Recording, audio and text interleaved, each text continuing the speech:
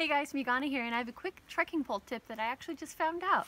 So there's different locking mechanisms on trekking poles, but my twist lock sometimes will just keep turning instead of locking. And a quick tip for you, if you take it completely out and you see this mechanism at the top here, if you actually just loosen it a little bit, just like that, bring it down, and then pop it back in, it should for you.